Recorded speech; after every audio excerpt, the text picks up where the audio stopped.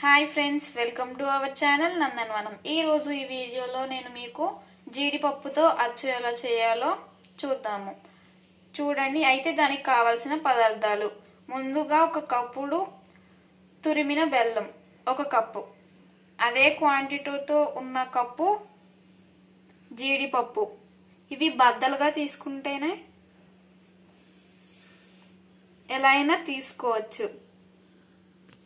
అలాగే కొంచెం యాలకుల పొడి. ఇప్పుడు ముందుగా ఒక ప్యాన్ తీసుకుని అందులో నెయ్యి వేసుకోవాలి. దాని తర్వాత జీడిపప్పుని ఇలాగ వేయించుకోవాలి. ఈ జీడిపప్పుతో అచ్చుకి గుళ్ళు కూడా తీసుకోవచ్చు. కానీ గుళ్ళు తీసుకుంటే ఎక్కువగా టేస్టీగా వస్తుంది. చూడండి ఫ్రెండ్స్ ఇవి ఇట్లా కలర్ చేంజ్ అయ్యే వరకు మనం వీటిల్ని వేయించుకోవాలి. ఇప్పుడు వీటిల్ని ప్యాన్ నుంచి తీసేసుకుని ఇట్లాగా చల్లార్చుకోవాలి. ఇప్పుడు ఇప్పుడు మనము అదే ప్యాన్లో బెల్లం తీసుకుంటున్నాము. దానికి మనం వేసిన కప్పు బెల్లానికి అరకప్పు నీరు సరిపోతాయి. ఇప్పుడు దాన్ని తీగ పాకం వచ్చే వరకు మనము దాటిని ప్యాన్ మీద ఉంచుకోవాలి. ఇదిగోండి ఇప్పుడు ఇది ముద్రపాకం వచ్చింది. ఇది ఎలా ఉందో అదిగోండి ఉండ కట్టింది చూసారా? ఇప్పుడు ఇందుట్లో యాలకుల పొడి వేసుకోవాలి.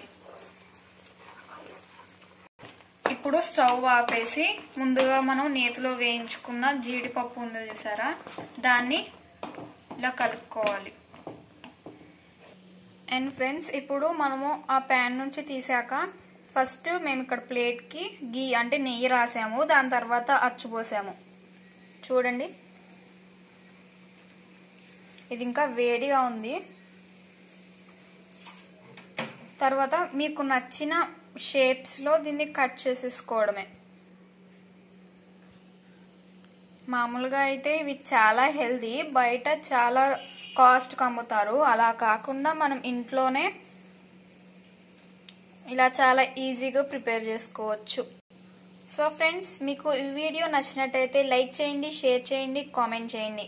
అలాగే మన ఛానల్ ఎవరైనా ఫస్ట్ టైం చూసినట్టయితే సబ్స్క్రైబ్ చేసుకోండి దాని పక్కనే ఉన్న బెల్ సింబల్ నొక్కండి. దీని ద్వారా మేమేమన్నా కొత్త వీడియోస్ పెడితే మీకు నోటిఫికేషన్స్ వస్తాయి. Thanks for watching this video